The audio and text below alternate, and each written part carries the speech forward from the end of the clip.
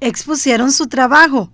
Diez estudiantes de electrónica industrial del Instituto Nacional de Aprendizaje en Pérez Celedón participaron en una exposición de proyectos. Alarma con notificación al celular, casa inteligente controlada por la aplicación Telegram, casa inteligente controlada por voz y por aplicación en el celular, sistema contra incendios con notificación al celular, matriz LED RGB controlada mediante computadora, estación meteorológica visualizada mediante sitio web, alcoholímetro inteligente, jardín inteligente, piano de papel, juegos en Arduino y creador de bombas de jabón. Eh, bueno, esto es una casa inteligente eh, controlada mediante mensajes de texto vía Telegram. Y aquí les voy a hacer la demostración para que se encienda un bombillo. y de la misma manera para que se apague. El proyecto es una matriz de LED Una matriz RGB es un sistema de LEDs soldados en serie que por medio eh, de un microcontrolador eh, podemos darle órdenes de hacer secuencias de imágenes, eh, animaciones, como un letrero, carteles.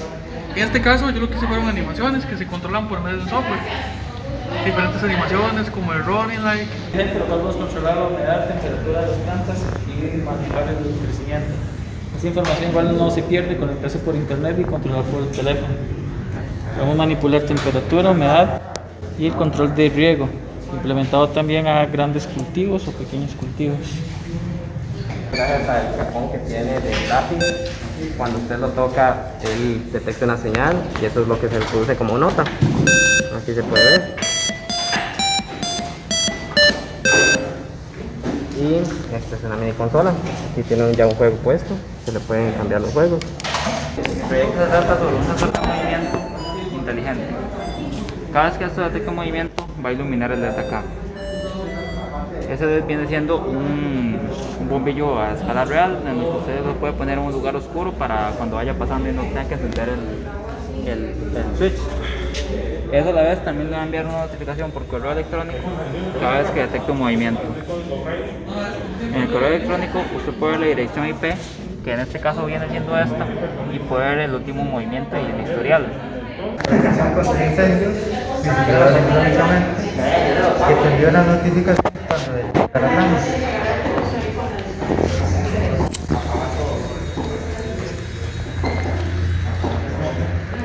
sería la función cumple y envía la notificación por un mensaje diciendo que detectó la flama. Es un sistema automatizado de bombas de jabón. Vamos a explicar el proceso. Este sensor ultrasónico capta si hay líquido o no. Si no hay líquido no se puede empezar el proceso. El proceso se empieza mediante este pulsador. Apaga este LED mandando una señal a este otro para que se encienda y cuando este está encendido significa que el proceso puede continuar manda una señal a los dos servos para que empiecen su proceso junto al ventilador. temperatura y humedad. Se muestran los valores en una pantalla, la temperatura en grados centígrados, el porcentaje de humedad y el CO2 eh, las partes en el aire. los mismos datos pueden aparecer, digamos, muestran un servidor en internet de forma de gráfica y digitales.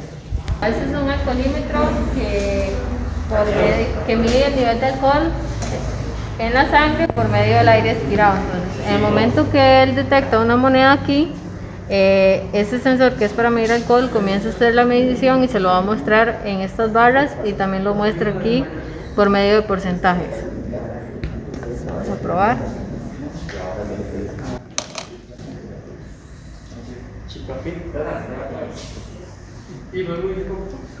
Y ahí dice severo. Configurada para funcionar con el asistente de voz de Google y mediante una aplicación. Aquí tiene pulsadores auxiliares y con el asistente. Ok Google. Ok Google. Encender cuarto 1. El curso tiene una duración de 2.200 horas equivalente a dos años. Sin embargo, por la pandemia se extendió a casi tres años para poder cumplir con los protocolos. Este programa es la segunda vez que se da y generalmente en el último módulo se hace una exposición de cierre del programa. Cabe indicar que el grupo inicial era de 15 estudiantes, pero algunos reprobaron y otros desertaron.